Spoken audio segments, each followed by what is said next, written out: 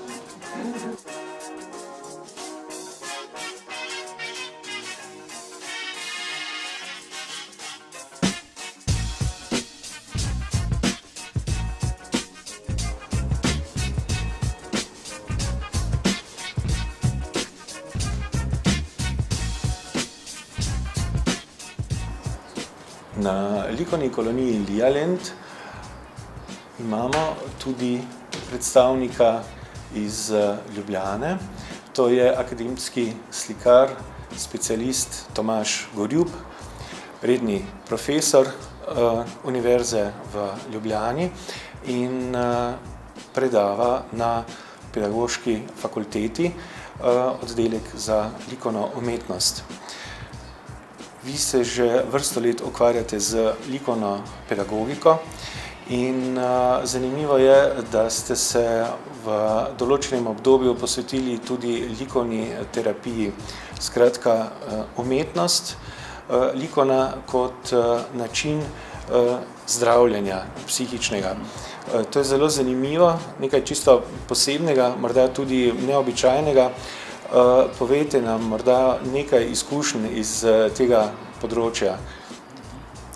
Ja, jaz bi tako lahko rekel, da ima praktično vsako delo neki terapevtski odnos, tako tudi likovno delo, ne. Skratka, tisto, kar sem jaz zasledoval pri tem, je bilo pa to, da bi pri stranskih vratih vendarle prodali v terapevtskem smislu tudi nekaj kvalitete, ne. Ker tista vseenost da je kurativa dosežena oziroma neki psihofizični dvig klienta je v nekem smislu dovolj, pa tudi premalo. Boljši likovni rezultat v vsakem primeru več žarči, več daje in tu je tisti mogoče moj prispevek v tej smeri.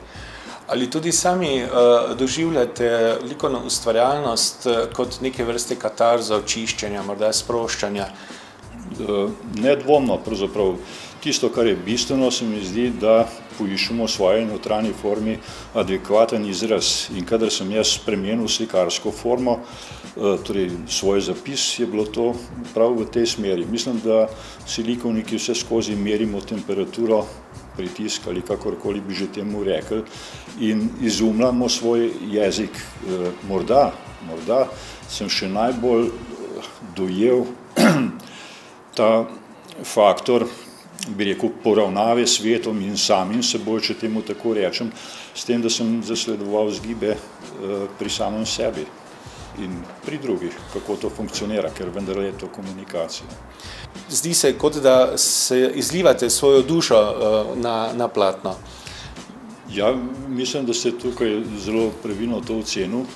Se pravi, zdaj tisto, kar se je pa nekje eh, koncem 80-ih, no skratka nekje v 90-ih letih pa res silno razmahnilo pri meni je pa ta koloristični uh, potencial. In zdaj pravzaprav so, če rečem tem stvarjem, tem svojim zapisom, da imajo, da imajo pravzaprav še preznak nečesa, bivansko arhetipnega, da je morda figuralika v tem podtekstu še odkana, ne? saj pravzaprav to ne moremo tako zelo zanikati. Uh, vi ste imel v Mariboru nekje pred 12 leti samostojno razstavo v okviru umetnostne galerije uh, v starem razstavnem salonu Rotoš. No in uh, takrat ste predstavljali en ciklus uh, v bistvu eh, del na papirju, so bili akrili na papirju, ustvarjali se, ste s prsti takrat, ja, ja. se spomnim, eh, eh, to je bila v bistvu vaša ta prva ekspresivna faza z eksplicitno izraženo človeško figuro.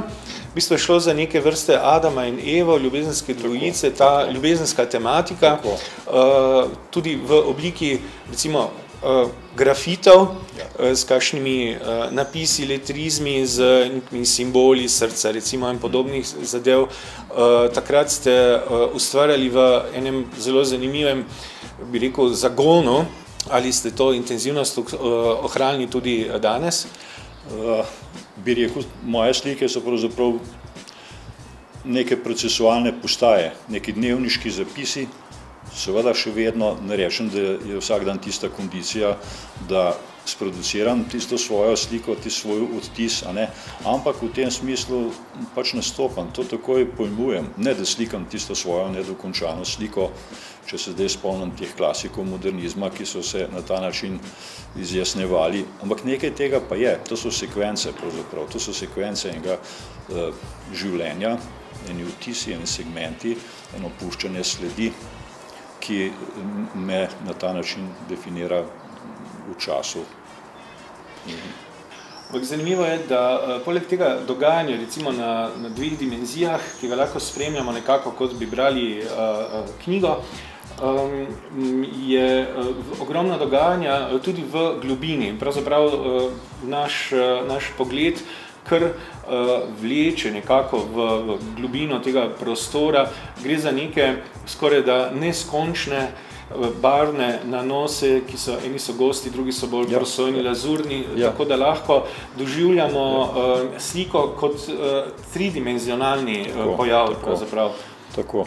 No, mene dejansko v tej fazi zanima prav to, o čemer se zdaj rekel, ta zloženost fakture in pravzaprav to globinsko polje slike, ki jo zamrežim, skozi katero se potem, recimo skozi slikovno polje se posedi črta, neka linija, jo prekrije naslednja, skratka, eh, to prav to mreženje ne, je en faktor načina mojega razmišljanja o prostoru.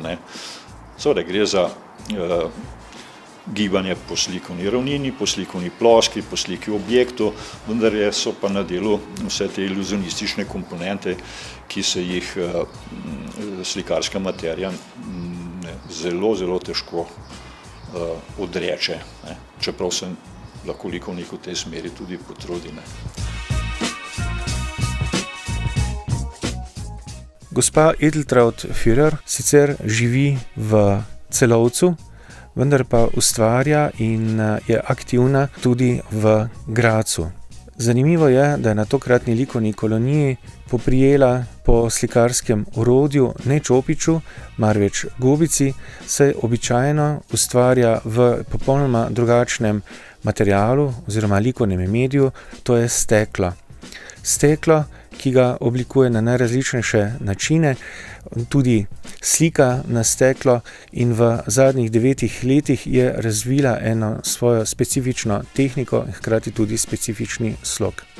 Und im Laufe dieser vielen Jahre, die ich mich intensiver so mit dieser Glasmalerei auch beschäftigt habe, hat sich jetzt eine ganz eigene Glasmaltechnik entwickelt. Ähm, Glas malt, kann man, also Glas malen kann man jetzt eigentlich nicht sagen, dass ich äh, mit Pinsel male, Pinsel und Farbe, sondern mein ähm, Werkzeug ist, sind eigentlich verschiedene Spachteln. Und ähm, es kommt verschiedene Bewegungen kommen dazu, aber das hat sich im Laufe der letzten Jahre entwickelt. Und ähm, da ich es jetzt nicht gewohnt bin, mit Pinsel zu malen, äh, arbeite ich mit Schwämme und trage meine Acrylfarbe mit Schwamm auf die Leinwand. Für mich ist es besser, weil ich, mit, ähm, weil ich die Farbe besser ähm, führen kann, weil ich sie besser bewegen kann, weil ich einfach mit ihr spazieren gehen kann. Und das ist die Technik, darum arbeite ich mit Schwamm.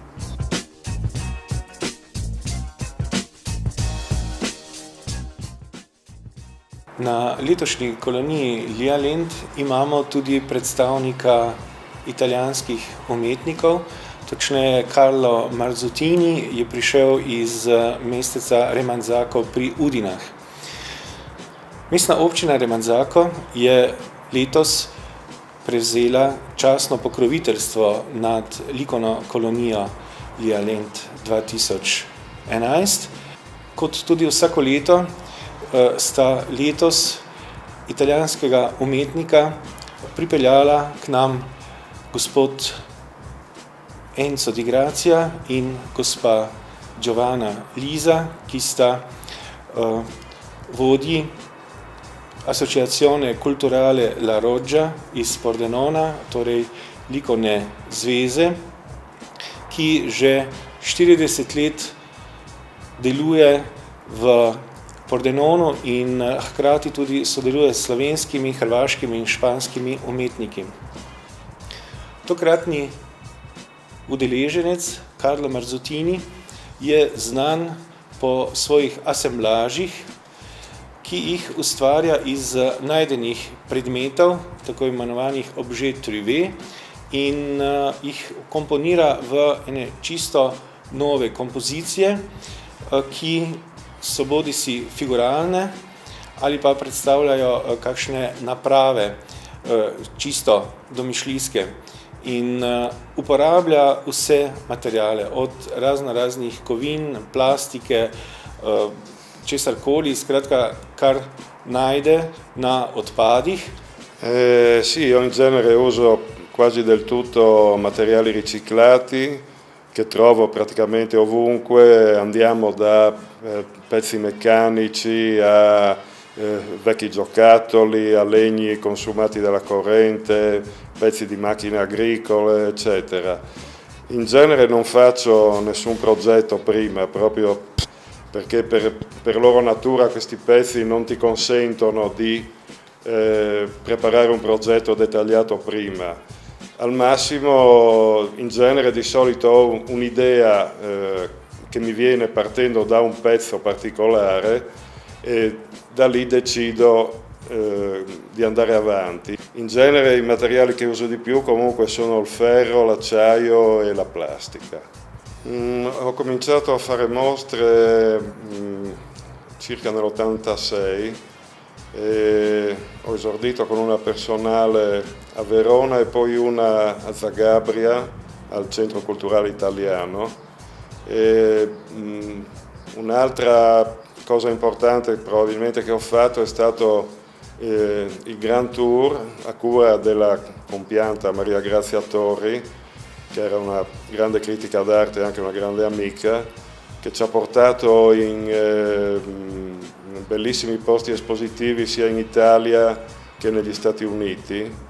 E, ehm, dopodiché ho cominciato a lavorare con la Galleria La Roggia di Udine, con i quali collaboro da molti anni, e con loro abbiamo fatto eh, molte mostre, molti eventi sia in Italia ma anche e soprattutto all'estero, in Slovenia, Germania, molte cose in Spagna eh, perché loro hanno questo metodo della mostra di scambio che funziona molto bene secondo me.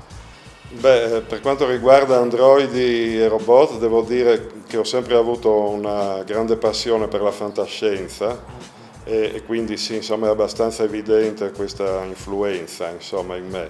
E, ehm, anche, sono anche appassionato di motori e qualunque cosa meccanica e anche questo si vede. E, può sembrare, anzi in molte opere, molte opere possono sembrare e sono anche inquietanti, sembrano pericolose, eh, alcune sembrano delle armi eccetera, però c'è sempre molta ironia anche dentro, e soprattutto se uno si rende conto del materiale con cui sono fatti, che è praticamente spazzatura. Gospod Enzo Di Grazia je predstavnik Associazione Culturale La Roggia iz Pordenona. Niente, sono ormai dieci anni che noi abbiamo rapporto con Maribor attraverso tutta una serie di iniziative, però soprattutto attraverso l'amicizia diretta con Mario Berdic, col quale abbiamo organizzato tutta una serie di iniziative sia a Maribor sia in Italia a Pordenone e anche a Cordovado vicino a Pordenone dove abbiamo celebrato in qualche modo delle iniziative importanti. A me piace ricordare innanzitutto l'ottantesimo anniversario della DRUM, dell'Associazione degli Artisti di Maribor, che è stato celebrato in Italia a Cordovado con una bellissima mostra fatta credo nel 2000-2002. Successivamente poi abbiamo fatto il, il decennale delle, delle colonie di, uh, della Lialand sempre a Cordovado con una bella manifestazione che abbiamo realizzato l'anno scorso con un volume straordinario. E in cambio poi qui a, a Maribor abbiamo avuto occasione di presentare vari, artisti, alcuni invitati nelle colonie che si realizzano nella Lialet, altri invitati con mostre personali che sono state realizzate eh, nella sede della Dlum oppure nelle gallerie vicine alla Dlum, penso alla Medianox e altre che stanno lì intorno. Però soprattutto mi piace ricordare che eh, abbiamo avuto l'onore di essere riconosciuti come associazione culturale con meriti particolari per l'impulso che ha saputo dare agli scambi culturali tra la Slovenia e l'Italia. Mi pare che fino a questo punto siamo riusciti a fare parecchio, insomma. abbiamo all'attivo dieci anni di attività molto intense, speriamo ancora per i prossimi dieci anni. Spoštovane gledalke, dragi gledalci televizije Exodus, v našem studiu je z menoj direktorica Dijaškega doma Lizike Jančer, Vasja Dubrovnik Smole, ki že dve leti vodi ne samo Dijaški dom, ampak eh, tudi se ukvarja z likovno kolonijo Lialent, ki letos v bistvu poteka že 13. leto. Gospa Smole, povejte, kakšni so bili začetki? Ja, pred dvemi leti, ko sem nekako prevzela vodenje Dijaškega doma Lizika Jančar, sem tudi nasledila to že ustaljeno uh, likovno, mednarodno likovno kolonijo. Uh, ob odhodu našega ravnatelja, magistra Jožeta Slana, Slane, sem nekako povedala, da uh, bomo skušali uh, zadržati vse tisto, kar je dobro in mogoče še kaj nadgraditi. In prepričana sem, da mednarodna likovna kolonija je tisto dobro. Uh, Mogoče bi povedala to, da je poslanstvo Dijaškega doma Lizike Jančar v tem, da pomagamo mladim v času, ko pridejo iz podeželja v šolanje v mesto. Pa vendar eh, posredovanje znanja in, eh, in procesa vzgoje ne moreš eh, vršiti samo znotraj sten. Mislim, da je prav ta mednarodna likovna kolonija doprinos k temu, da, da, uh, da približamo likovno umetnost mladim na en poseben način. Uh, v zadnjih dveh letih, ko sem nekako bolj pri, pri teh aktivnostih, ko sem bolj vključena, prepoznavam, da je vse več uh, zavzetosti strani celotnega kolektiva. Uh, pa mislim, da je vrednost tudi v tem, ker smo mi uh, vključeni v življenje mesta Maribor. Uh, ravno mednarodna likovna kolonija se opada v čas uh, te likovne, oziroma Lija Lenta, ko pravzaprav vsi Mariborčani živimo s tem. In uh, prepričana sem, da umetniki, ki bivajo v času uh, likovne kolonije pri nas, prepoznajo našo gostoljubnost, uh, spoznajo toplino mesta Maribora spoznajo prijaznost Mariborčanov in vse to pravzaprav lahko ponesejo v okolje, kjer živijo. In s tem je tudi nekako prepoznavnost Maribora v svetu. In to medsebojno sodelovanje ima svojo vrednost. Uh, operativne dejavnosti v okviru uh, likovne kolonije se nekako vršijo preko Eh, kulturnega in športnega društva Lija, ki ga vodi uh, pedagoginja Karin Žvan. Imate pa tudi likovno pedagoginjo uh, v domu, ki tudi so ustvarja z um, dijakinjami. Ja. Naše uh, kulturno-športno društvo, katere predsednica je gospa Žvanova, uh, je pravzaprav zibelka te uh, mednarodne likovne kolonije in v sodelovanju, tesnem sodelovanju z bivšim ravnateljem, magistrom Jožem Slano, uh, se je liko, mednarodna likovna kolonija pravzaprav razvila, pojavila in razvila v takšno razsežnost, ko jo danes poznamo. Na mizi tukaj je en katalog, ki je Lent 10, v, ob deseti obletnici eh, eh, delovanja eh, likovne, mednarodne likovne kolonije Lialent eh, smo naredili tudi retrospektivno razstavo v Rotožu, razstavnem salonu Rotož eh, in ob tej priliki izdali pravzaprav tale katalog. Jaz se vam za ta pogovor najlepše zahvaljujem, želim vam še veliko uspeha v nadaljnih organizacijah likovnih kolonij eh, in pa seveda v eh, samem funkcioniranju Dijaškega doma Lizike Jančar. Vem, da, da, se bo, da se bo kolonija še bolj razmahnila eh, v tem mednarodnem okolju, sploh morda naslednje leto ko bo Maribor Evropska prestolnica kulture, bo tudi uh, likovna kolonija Lialend potekala v znamenju te prestolnice kulture. Uh, lepa hvala za vašo pozornost in uh, nasvidenje.